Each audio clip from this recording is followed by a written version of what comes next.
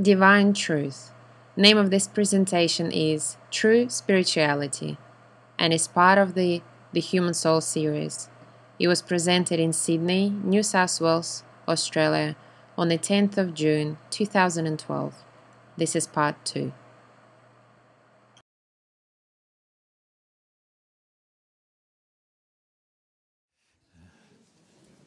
Okay.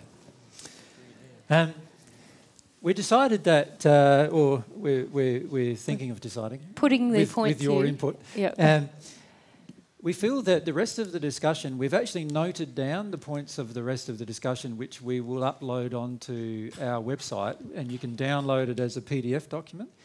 And we felt that uh, because we only have about a half an hour left now of our time with you, that uh, that time would be uh, better spent perhaps getting to know you a little better um, and uh, answering some more individual questions that some of you may have here in Sydney that you would like to have answered. And if we can focus on the people who are in Sydney, uh, who live in Sydney, in terms of the answering of those questions. Um, if you would like to engage that. If you would not like to engage that, then we're perfectly happy to continue with our discussion. What would you prefer? You'd like some personal questions? Yeah. Yep. Okay. Good day.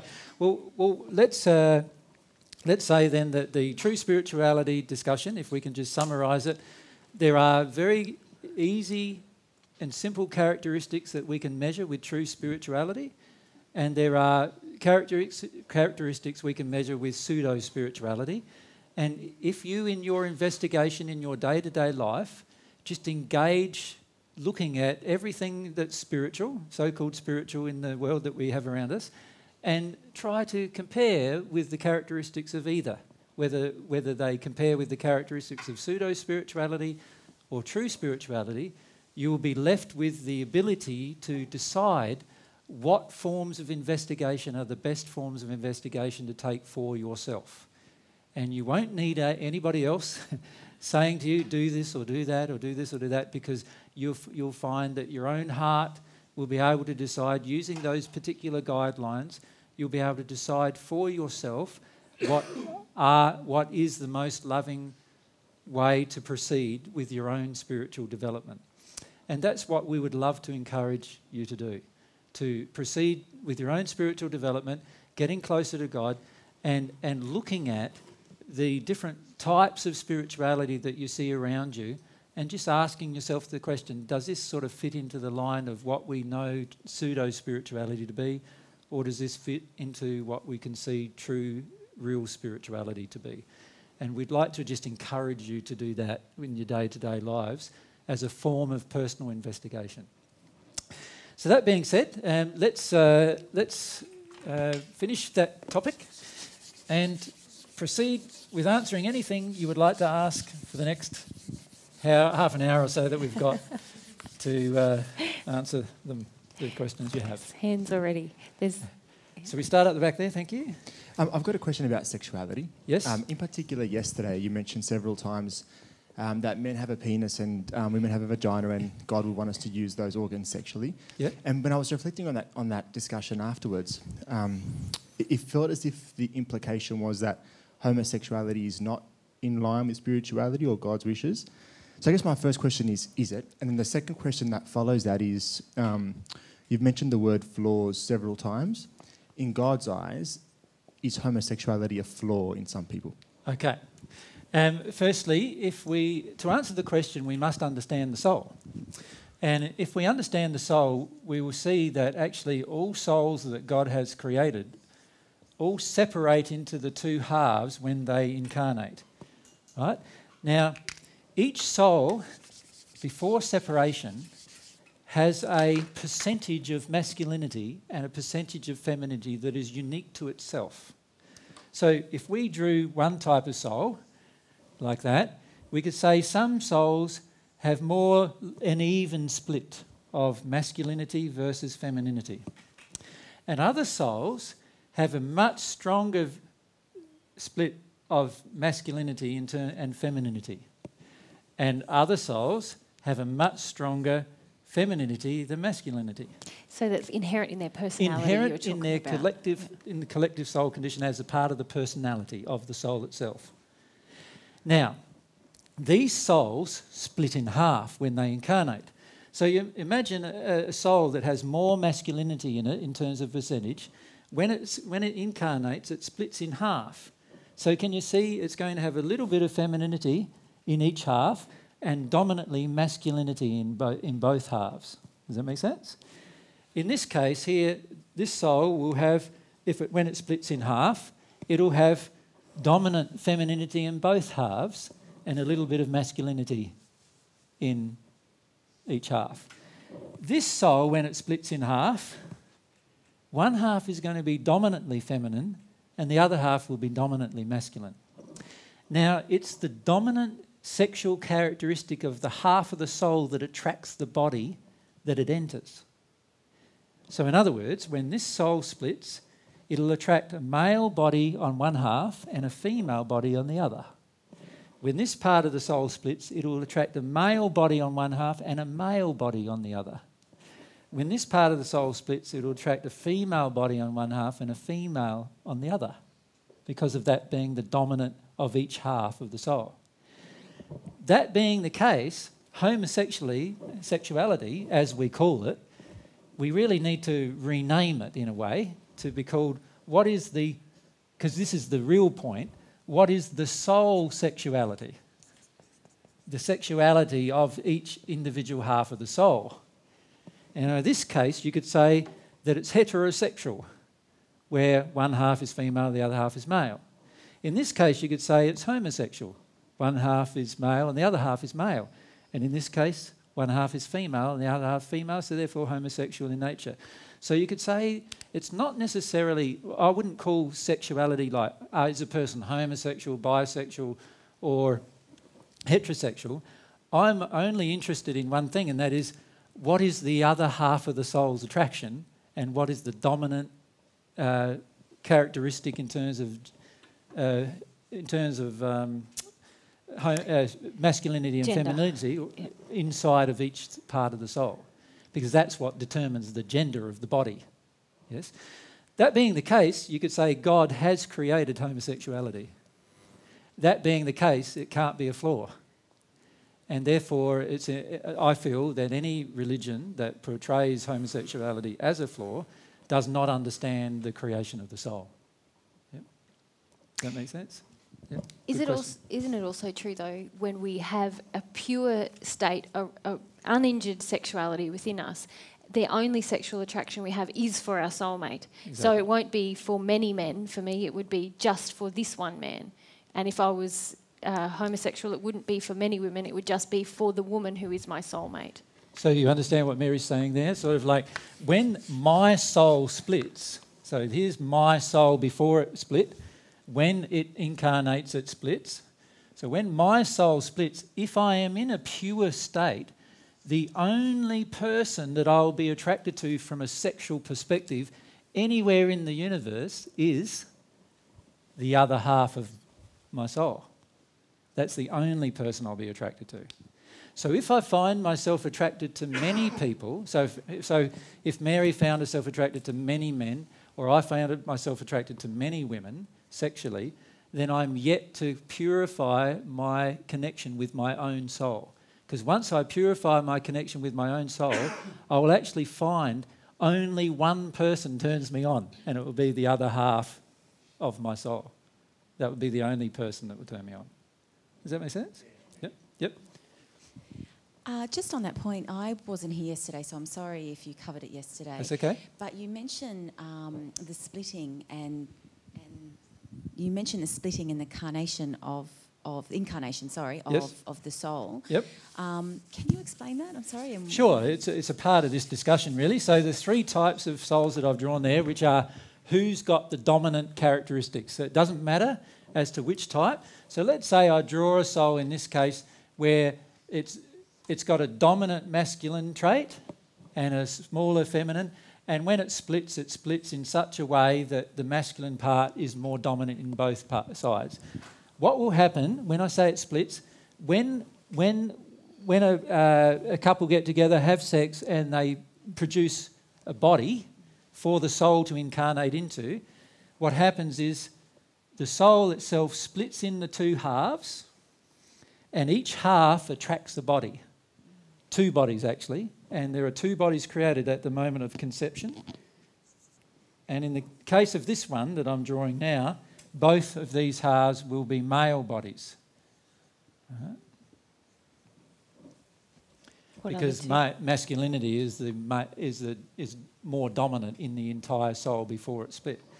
Now, in this state, it doesn't know itself. It doesn't know anything about its life. It doesn't know who it is. It doesn't. It's just incarnates, and as soon as it incarnates, it starts experiencing, and as soon as it starts experiencing, it starts discovering itself, and that's part of the process that God created to for us to come to discover ourselves completely. And ourselves is not just our half. We also need to come to discover the other half of ourselves. And that's the process, that process where the soul now envelops the two bodies that the parents have created for it. That process is the process I call incarnation. Just what are the two bodies, babe? The two bodies being a physical body and the spirit body. Does that make sense? So you have two bodies. You've got a physical body and a spirit body, and your half of the soul is connected to both of those bodies. Your soulmate, what, what is your dominant sexual attraction? Um, Male or female? Male. Male. So your soulmate is male, right? And he will have two bodies. He's got a spirit body and a physical body, and his half of the soul is, has, is connected to those two bodies. And eventually, once you work through the different emotional injuries that cause you to be separate, you will eventually draw each other into each other's lives, and you will eventually connect. And then, as you grow, you will eventually become completely connected for the rest of your existence. And you will not be involved sexually with any other person because no other sexual relationship will satisfy you, in fact. Yep. Yeah. Does that make sense? Yep, yep. Very, very clear, uh, I think, understanding of how incarnation occurs as well. Um, mine's a personal question. Yep. Have you read the book Jesus Lived in India? And if so, do you find any truth in it at all, or is it all a whole lot of hocus pocus? Yeah, no, no truth in it at all. Sorry. Right, Yeah. thank you. Um, the, the, there is a, a, long, a large school of thought that I lived in India because some of my teachings from the first century seem to have Indian philosophies involved in them. The reality is, I learnt all of the teachings that I gave in the first century from God, from my relationship with God, and I actually didn't live anywhere other than Egypt or in Israel um, when I, in the first century. However, in my sleep state, as can you, uh, we can visit any place on earth. And obviously, in my sleep state, I certainly have visited all places on earth. Even in my first incarnation in the first century, I visited other locations. And sometimes that's what they're referring to. But I did not learn from any of those experiences um, the things that I learnt from, from my relationship with God. Yeah, I just found it interesting that there is such um, a lot of um, similarities between Christianity and Buddhism, like the Ten Commandments and the precepts for Buddhism, and uh, you know, uh, uh, maybe you know you could have learnt those from the Buddha. Who knows?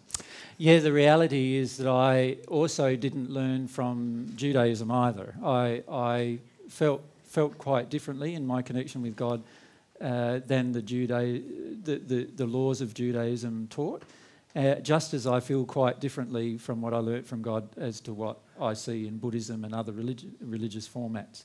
Um, I feel the connection with God is where you learn everything. And, and that's the primary thing that I'm trying to teach how to have a connection with God so that you can learn. Does that make sense?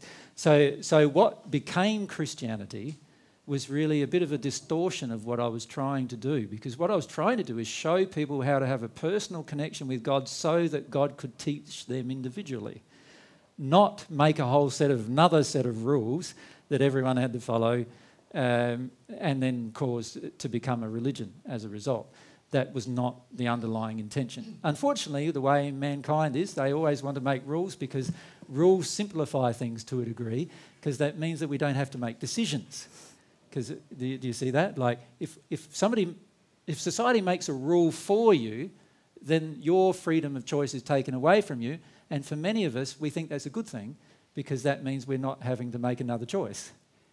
You know, and um, And so, what we often do is we feel very attracted to religious formats that make rules so that we can avoid making our own choices and decisions and having to pay for them or enjoy them, one of the two. And my feelings are quite strong about that matter. I feel we all need to take personal responsibility for the lack of love in our life or the amount of love in our life, for the lack of truth in our life or the amount of truth in our life. And we need to engage this in a personal way with God. And once we do that, we will learn very rapidly from God. And because God has all truth, you and I will eventually know the same thing. Because if, as as we so like it drew before, if if this is God, and you and I are working towards God, it makes sense that sooner or later we're going to have the same opinion on certain subjects. Yes, because we'll have God's opinion, not our own, on all subjects. And and that's how I've always taught people to approach their life. Um, and I certainly never taught anybody to approach their life as treating me as their mediator or, or some kind of intermediary, um, because I feel all we need to do is know how to have a relationship with God, then we can engage that relationship. Once we can engage that relationship, God can teach us all things that we want to learn. And it will depend totally on our desire as to how rapidly we learn that. Yep. yep. Pleasure.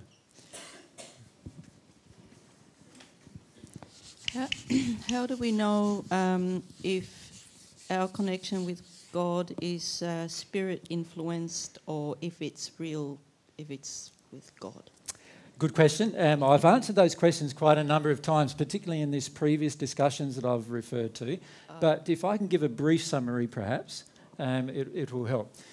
I, imagine for a moment this is you. So, this is not the real you, by the way, that's just your body, right? So, here's your body, your physical body. Here's your spirit body, which is c- connected to your physical body through a cord. And your soul actually envelops both bodies. Your soul controls both bodies, it controls its development. The development of both bodies or the degradation of both bodies are controlled by the soul's condition. All of those things are controlled by the soul. Now, if that's, that's you, the individual,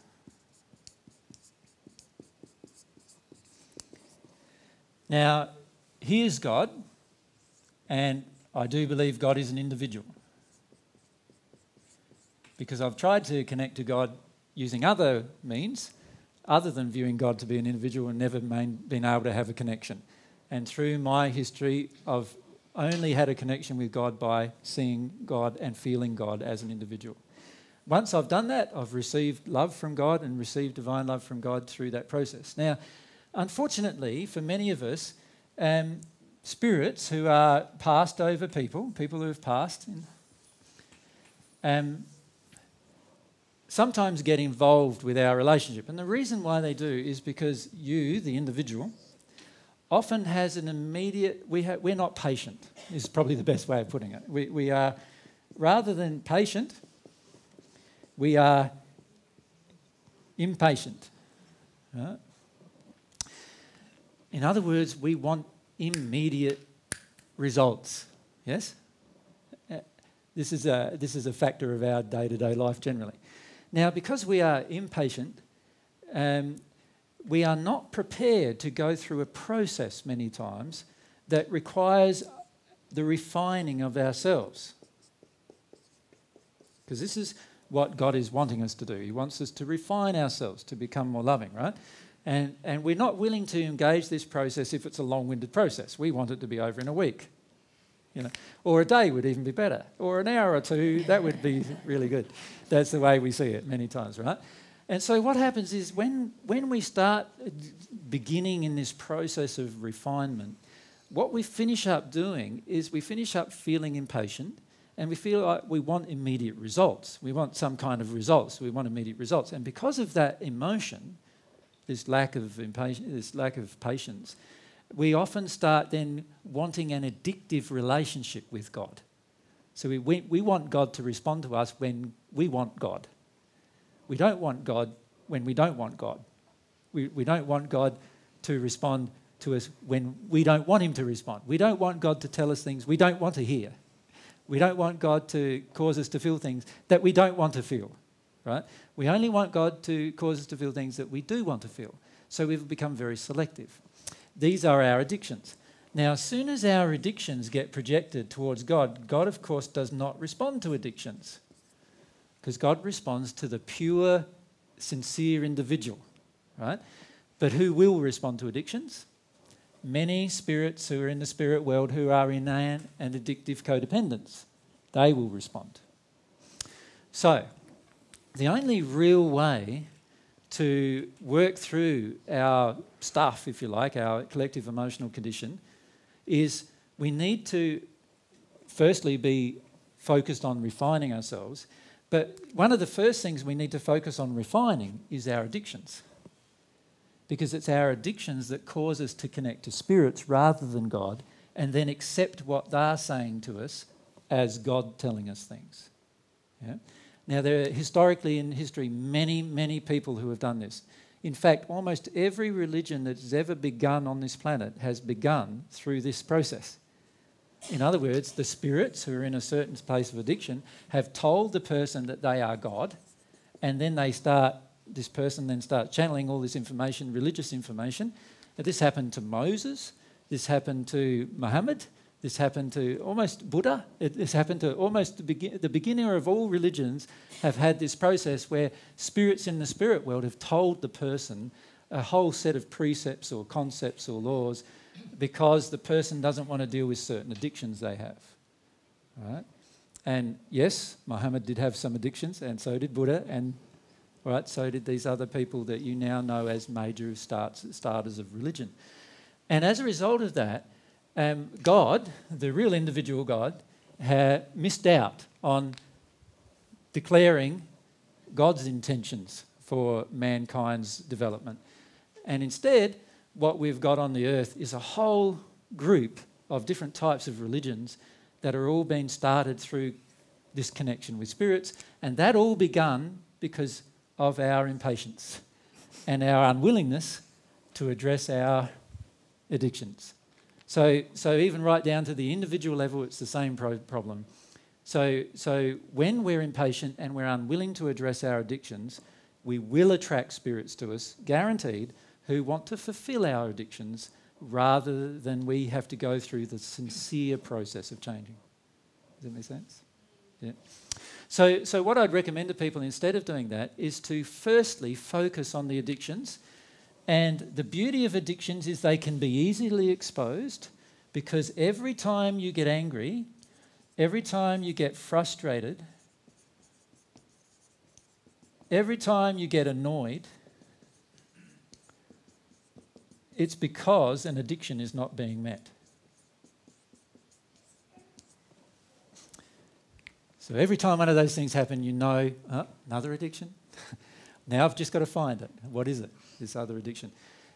The more addictions we can remove from ourselves, the more patient we'll become, and also the less attractions there will be to groups of spirits who are willing to fulfill our addictions.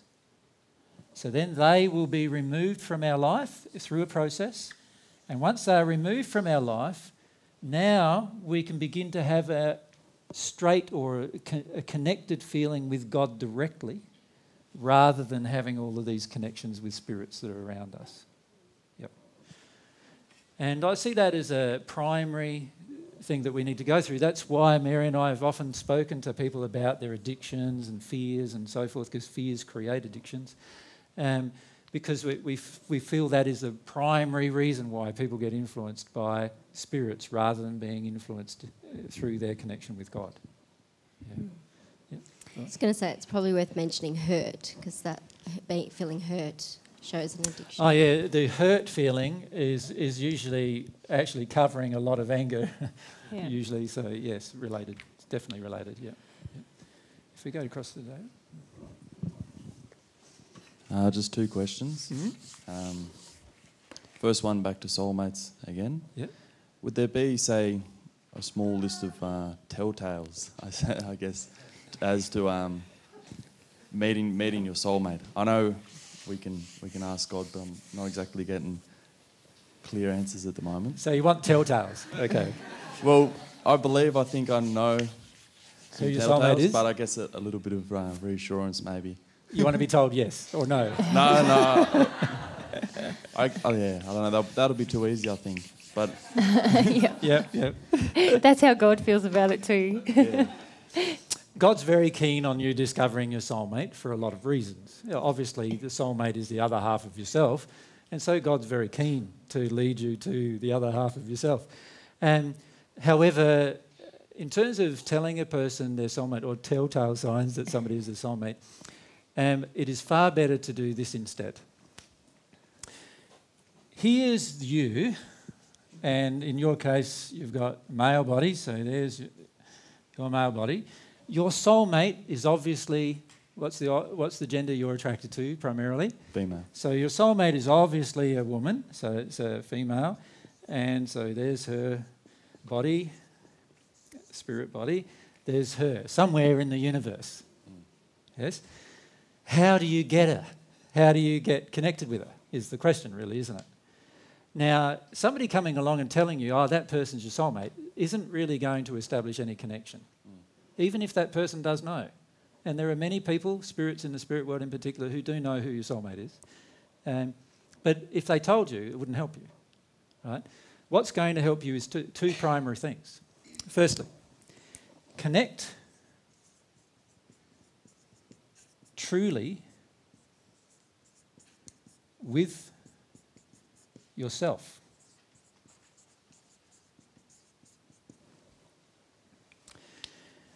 This person, to have a relationship with you, is going to have to connect to you.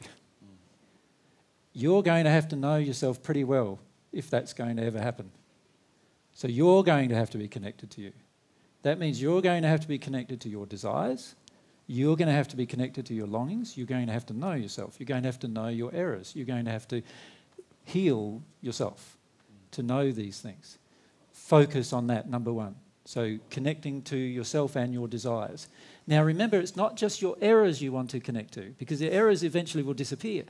You've got to connect to your desires, because your desires are your true self, particularly, and I'm saying here, your desires that are harmonious with love are your true self. So, if you're passionate about playing music, for example, connect with that desire more fully, right? Because that's a part of your true nature. Don't expect anybody else to do it for you you connect to it more fully.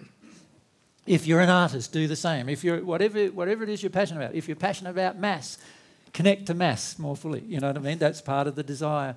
If you're passionate about science, connect to science more fully. These particular things will cause you to have a stronger connection with yourself. When you have a stronger connection with yourself, you are now open to connecting to the other half of yourself. And you're actually helping the other half of yourself recognize you. Because if you're just in a facade, how can they recognize you? They can't. When they see you, they'll walk past you in the street, go, oh, yeah, another guy, oh, yeah, Dave's pretty good looking, There's another good looking guy, and might feel a little bit of interest, but there's no real connection because they don't see the real you. They only see the facade, they only see the outward form. Soulmate relationship is about soul, your feelings in the soul. Now, if you do that, and the second thing you need to do, so that's number one, and number two is remove intergender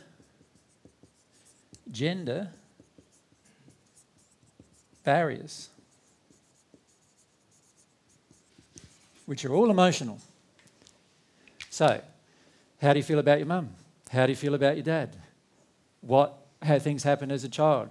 How much do you want your mum to look after you? How much do you want your dad to look after you? These are all things that you need to allow yourselves to, to remove from yourself because if you keep them inside of yourself, you will have these barriers with the other half of yourself, particularly because the other half of yourself is a female. Um, you will have the, those barriers. But even if you were in the same gender uh, attraction, you'll still have barriers if you don't remove the intergender emotional barriers that you have. So look at your addictions with people of specific gender. So, what are your addictions to men? What are your addictions to women? Your addictions to men, in your case, will tell you all of the things you don't necessarily like about yourself or that you need from men that you're not willing to give yourself. And your addictions to women will tell you all the things you don't like about women or all the things you think you need from women, right? And they need to be removed from yourself. Now, as you do that, you automatically become more and more and more and more open inside of your soul to the other half of yourself, no matter what condition she is in. You'll become more and more and more open. And you'll get to the point where you'll recognize her and know her. You'll draw her into your life if you haven't already. You'll recognize her, and she might not even recognize you at that point. And because you've healed a lot of these problems, you'll be able to still recognize her and engage her in a similar process without pushing her in that process. Does that make sense? Now, a lot of people want to know who their soulmate is so that they can avoid those two particular processes. Does that make sense? That's why God doesn't send you a telegram, because He wants you just to do those things. Yeah, I understand. I guess just with um, my sort of situation, I think I've already, like I was talking about yesterday, had met my soulmate. Yeah. Um, and there was just a lot of things that sort of happened during that time that really sort of made me look back and go, Jesus, I think. Oh, sorry. That's okay. um, you can use my uh, name as a swear word, that's fine. um, that maybe that's actually what, what it was because a lot of the females I had in my life before that met Yeah. my addictions very well. Yeah. Um, I was, you know, quite sexually promiscuous and everything like that. Yeah. Found myself in a relationship where I just went, I just could complete changes really in a lot of ways. Like, Yep. I felt that I knew that person Yeah. um, from the minute that we sort of met, really. Yep. And it was just, I kind of wa- tried to pull myself away from it because I just come out of a big relationship Yeah.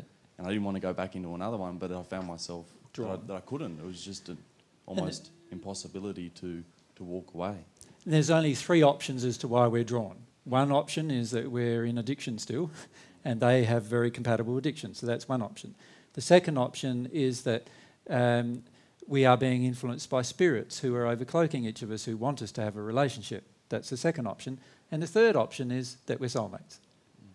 Does that make sense? Like, so, so it's one of those three options, and we need to be in a position to be able to know which one.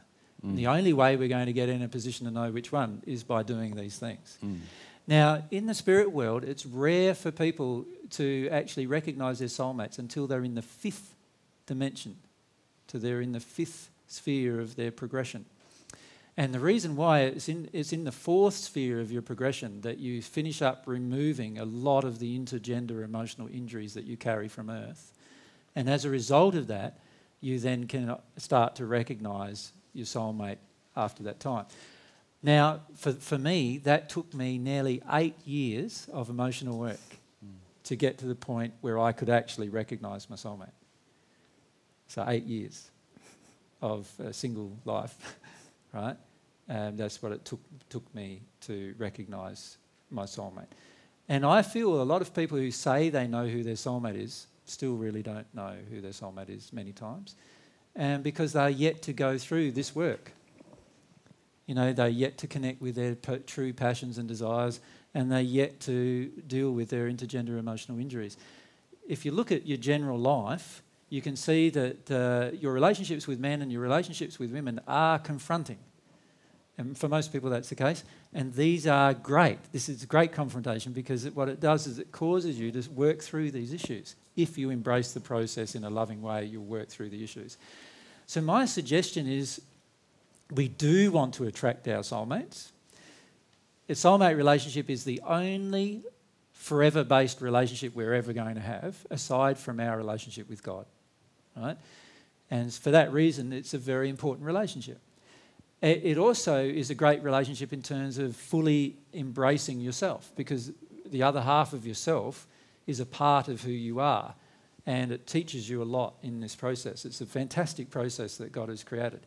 The key is to not be impatient with it mm. and then to start wanting spirits to tell you who your soulmate is and all these kind of things because what happens then is they'll start telling you things that are not true, many of them, and you'll get misled down this track rather than dealing with the real issues. So, my suggestion always when it comes to soulmates is deal with the real issues. Now, in many times in our travels, we see soulmates because you get to a point in your own development where you can feel certain people are soulmates for certain. Um, however, when those people come up and ask, "Are- "Are we soulmates?" or "Is that person my soulmate?" we generally will say, what do you feel? You know, what how have you dealt with these particular issues? Because many times we see that people haven't dealt with these issues, and they do have an underlying suspicion of who their soulmate is, but if you don't deal with those issues, it's going to be very, very hard for you to maintain a relationship once you meet anyway, uh, without dealing with these issues. Yep. Yeah, I think that that would definitely be in, in my case Yep. for sure because it, it was impossible to maintain the relationship. Yeah. But even if it's not, you know, I was still at that idea that those were the things that I'd need to be really working on. Yeah, so Um, focus on those things. Mm. Uh, work, and in particular, if your mum and dad are alive, engage the process of sorting through the issues that you have with them.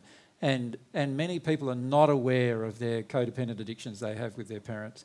And we need to work through them to, to, to break down the barriers between ourselves and our other half. Mm. Yep. Whether our other half is of, is of the same gender or not. Yep. Okay, thank you. Second question, this one should be much quicker. Yeah. Uh, water fasting, is it very helpful for connecting in with your emotions? Uh, well, the drinking of water is essential for the connection of your emotions. Um, my spirit friends have often recommended to me to drink more than six litres of water every day. Um, and at the moment, I probably manage about four litres of water a day. Um, while we're travelling, it's a bit hard because you've to stop every every half an hour or 15 minutes or so. But, uh, but the more water you, you see, emotion is conducted through water. So, so the flow of emotion is certainly going to be assisted by the more that you drink. If you, if you go onto water fasting, um, you've got to start asking yourself the question as to why, what's the underlying purpose. For a lot of people, it's about punishment of themselves, Or- restricting themselves Yeah. from having something they enjoy. Yeah. And we must come to understand that if we love ourselves, we are not going to do that to ourselves. So while it may have a role, a temporary role in assisting us, we are far better off, I feel, having a regular process where every single day we drink four to six litres of water. Well, I'm, I'm drinking about six to eight litres of water. Yeah. I've been doing that for the last few months. Yeah. And I tried water fasting for about four days recently. Yeah. And um, I guess I just wanted to some confirmation to see if it actually is as useful to do it every now and then because I have really struggled to connect in with emotions. Yeah. It will help you, but it will not help you as much as working through your barriers to connecting with your emotions will. Mm-hmm. So, in other The words, fears. yeah, working through your fears, because it's always the fears that dictate everything. So, it is far more powerful to address your fears and your addictions than it is to drink more water. Mm. Does that make sense? Yeah, that makes Some- sense. However, Yeah, drinking yeah. more water will assist you to fa- face your addictions and your fears. So bring them all in together. Yes. Yeah. Thank you. Often it's tempting to do something externally to force ourselves emotionally. Yeah. When in the end, if even if we achieve some connection with emotion by forcing ourselves through a situation or restricting something in our lives, in the end we're still left with the barrier that was there in the first place that we're going to have to get over every time. Yeah. So I've found most effective. It requires patience, and often I get very impatient with myself. But it's more effective to actually sit with the resistance, sit with the fear, and be real about it, and know that I'm going to have to get through this if I want emotional freedom all of the time. So, yeah. So, if we can illustrate that from a perspective of um, what, it, what it looks like, let's say, let's say here is the point where we're actually cleared of emotion, right? Of whatever the emotion is. Here's the point where we are right now. Here are our blocks to the dealing with the emotion. So that's our false beliefs about what it is to be emotional, the fears that we have, what's going to happen when I'm emotional, how people are going to treat me when I'm emotional, I'm going to feel out of control when I'm emotional, all of those things. all Yeah. those beliefs. And then here is the actual emotion that's going to heal us, which is always usually grief related. Now, what the majority of us try to do is we try to do this.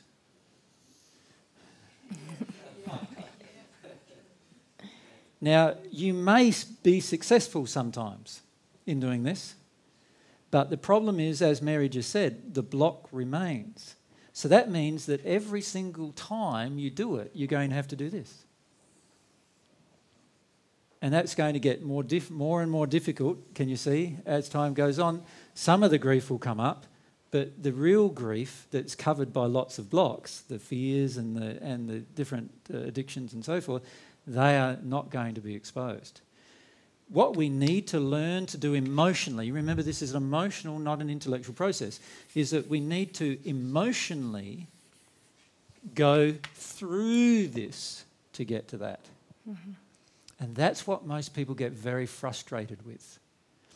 Because the blocks are very difficult to emotionally go through. But we need to emotionally go through them to release them. See, once we emotionally go through the block, it's like having the block no longer there. Once that occurs, what's natural will be immediate experience of the grief. Right? And that's why it's so important to actually emotionally address the blockages. Now, the majority of people don't like doing that because it's a slower, it seems to be a slower process. However, I put to you, if you have the block there and you're keeping on going around it, you're never really getting to the full extent of the grief. Yeah. And so, therefore, this process, while it might seem partially successful, in the long run, it's going to result in longer processing, right? Because you've still got the blockages stopping the full grief from ever coming about. Once these blockages are released, and as Mary said, they are fears, belief systems from our childhood that have entered us emotionally, all of those things now, once we start knocking on their door and getting into those, now we'll be released from that blockage. And so the underlying grief that's inside of us will just come out naturally. So I don't uh, get very stressed out about my processing at all, like in terms of what I do. All I do is I focus most of my atten- attention not on the grief itself, because at the moment I know I've got grief, right, still inside of me to feel. I focus my intention on what am I blocking? What, what's the blocks to it? Because I know that once I get rid of the blocks, the grief will just flow out naturally. I don't have to worry about it happening. I don't have to force it to happen. Yep. How do you recognise your blocks? And all of our blocks are, there's, a, there's some great ways of recognising your blocks. Firstly, every time you have anger, there is a block of some kind, go and find what the addiction is. Because every time there is an addiction, there is a block. And when we, when we don't get our addiction met, we revert to anger. Every time we've experienced pleasure that seems to result from an addictive behaviour, that's also covering a block. So I would examine that. And all of these things cover our fears. So anytime I recognise a fear within myself, I know that there's a block associated, that that's blocking something. So, they're the emotions I focus on my, myself on. And, it, and, and the way you recognize your fears is every time you feel like you want to get away from something, and every time you want to avoid something, and every time you, there your fears are. They're right there, and we just need to recognize them. Every time that you feel a bit annoyed, a bit frustrated, a bit angry, there's your addictions. They're right there. You know, we just need to recognize them that's the fastest way to actually recognize the blocks. We need to feel them. So, so if we're, we're feeling our addiction, we have to feel our addiction. Mm-hmm. You know, it's like, it's like a smoker sitting down and deciding he's going to feel the feeling that he has of wanting to have a cigarette. Right? Instead of just getting up and having one, he's going to sit there and feel what it feels like to not have one. Right? And he'll very rapidly get into some emotions if he does that. Right? And we need to do the same with all of our emotions. We need to feel the actual addictive emotion that we have. I just badly, badly want that person to make me feel good. You know, you feel it, like, and allow yourself to feel it. As you feel it, you will connect with why. When you connect with why, there will be childhood issues related to that. And then underneath that, the grief is just sitting there, waiting to just pop out whenever we allow ourselves to feel the block. So that would be my recommendation to most people. Don't focus so much on the grief, focus more on the blocks to the mm-hmm. grief. Because the grief will just come out of you automatically once there's no blocks to it doing so.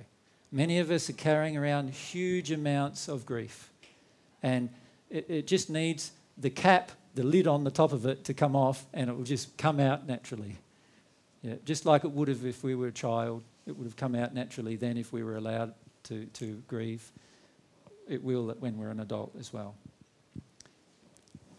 Following on, following on from some of the soul mate and soul separation questions. Yes.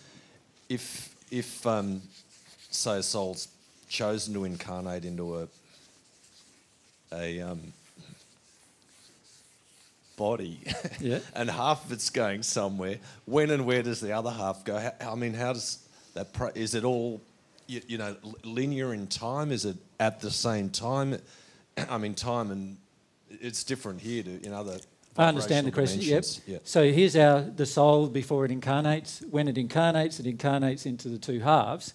The process of it incarnating into the two halves is going to be there'll be one half of the soul that incarnates first. It'll usually be a half of the soul that is more um, what you would call investigative in its nature. So part of the personality gets split as well, and the part that's more investigative in its nature will probably incarnate first. The other half will just follow around that half on the earth plane until it has it, it then has a very strong desire to incarnate as well and it will just follow around the other half until nearby there is a couple who are having sex who will who who draw this soul to them. And it has to match personality. There are a lot of laws involved. It has to match personality requirements of th- that will trigger the emotions the unhealed emotions and the and the desires of the parents. And so it has to match a lot of the parents' emotions and everything in terms of triggering them and affecting them. But it's actually, there's a lot of laws involved, but rather than going into each individual law, it just follows the half of the soul around that's, that's incarnated already until it finds an appropriate receptacle to incarnate to, and then it does. And usually that happens within, you know, usually it happens within a few years. Uh, in extreme cases, it might happen within 20 years of each other. Yeah. Thank you. Yep. What's the time? It is four. 10 past. We have to actually finish because otherwise we're going to get kicked out. So we better at least make steps to uh, to pack up before someone comes to kick us out. we would. Uh, can we just before we go? Can we just thank again those people who did uh, organise our event for us, Yvette and, And uh, David. And thank you guys. And we'd like to thank Yvette for paying for our venue for us uh, over the last two days. So that was her gift to you. So we'd like to thank you for that as well. Um, we, myself and Mary are now off uh, this coming week to Bathurst. We'll be up there the next weekend in Bathurst, and uh, we'll be there for a couple of days, and then we're back up the mountain range to near Armidale, where we'll be doing some talks up there. We get up to Queensland. Uh, we're there for one week, and then we go overseas. Uh, we're visiting seven countries. Uh, this In trip- seven weeks. In seven weeks. So, so it's going to be a fairly busy trip. And so, what we we'd love to uh, ha- to have you, if you want to, pass on, on any of your regards to those people that we meet. Uh, many of them will see you in a video at some point in the future. and Many of you we will see in those other locations as well. I think there's some some- people some here from you. Bathurst, and Yeah, yeah, yeah. So we look forward to doing all of those things. We'd like to thank you very much for your donations to us Yes. yesterday and today, because that's what helps Ma- Mary and myself do these things. And we'd also like to thank you for your engagement over the last two days. We've enjoyed Yes. ourselves uh, quite a lot Very the last much. two days, myself and Mary. I just also want to thank Milo, who uh, donated, or her partner, donated somewhere for us to stay. So Yes, thank you so, so much. thank you for that. Without knowing us at all. At so, all, yeah. without knowing us yeah, at all. Thank you. So there's a lot of trust in that. A lot of trust. Yeah. Thank you. That's nice. So um, we're, we're uh, hopeful that we'll be able to get more information on the internet over the coming weeks. If any of you do have a disk drive that you have brought with you to do some copies, we can do some copies, but we're not being, going to be able to give you the copy immediately. So if you can leave us a return address or something so that we can post it to you, we'd be happy to do the copies over the next week and send them, send them to you. So if, if you do do that, can you see straight away afterwards and, and just give us, make sure you've written an address of those particular things, Yeah. uh, of the disk drives that, so, So, that you can get a whole copy of every talk AJ's really ever done. ever done. Or Oh, it's not quite, No. There's about 50 in the last, yeah, in the last yet, six so- or seven years, every talk he's done. So if you'd like a copy of that, Yeah. Yeah. All right. Just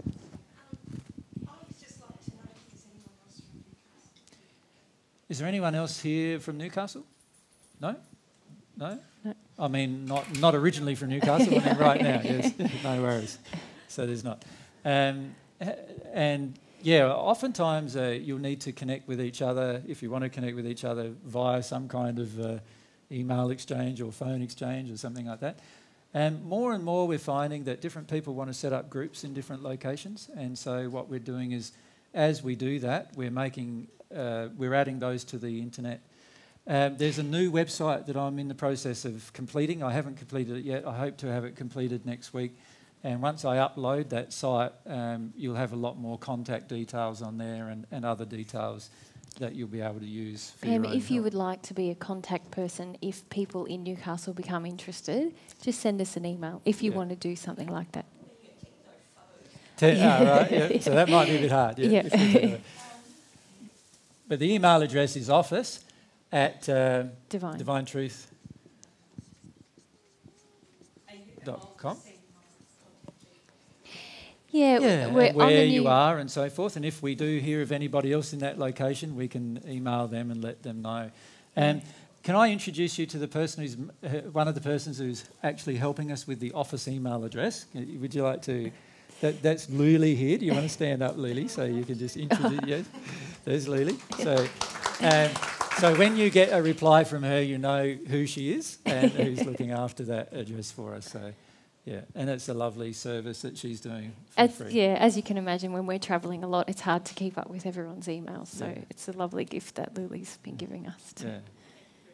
Yeah, pleasure. and thank you very much for your time today, guys. And we look forward to seeing you again at some point in the future. Yes. Yeah. Thank you.